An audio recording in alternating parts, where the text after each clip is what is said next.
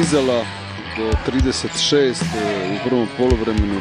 Na 40 bila kroz drugo poluvremenu. Došao Marić, ali popravnu situaciju jest riješio. Ali i griješi Jaden Vrabac. Njegov je aut, lopta za split. Dvostruka izmjena. Stipčević plus 4 plus 6.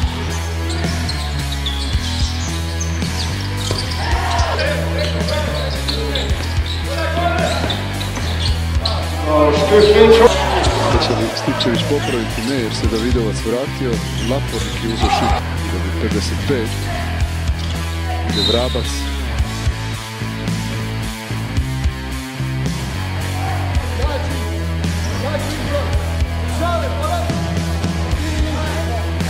Činković.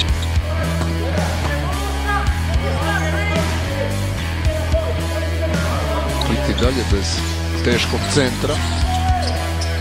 Dobra akcija. Ali doista i tim visinskim pregledom igre Škifić za. Opet Kampor. Opet Kamp.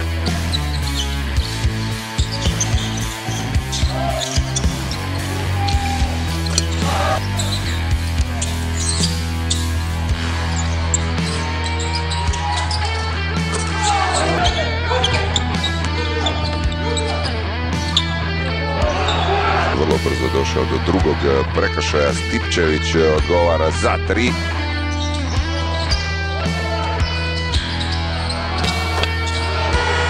Zvaće Vučetića da odigraju 2 na 2.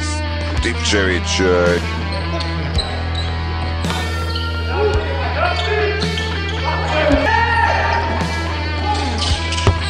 Stipčević malo popravlja dojam.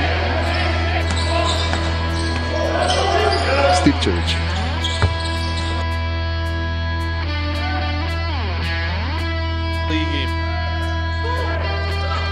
Stipčević i konačno sve na mlin ekipe budućnosti. Stipčević i on odgovara na drugoj strani i on se zagrijava.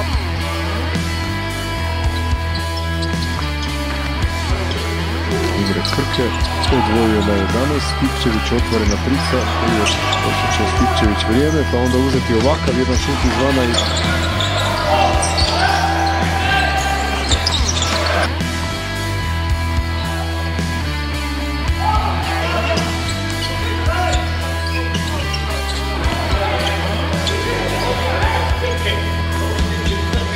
ali e, istek napada i Dosta dobro iskakanje na loptu i uspjeli su i je oduzeti.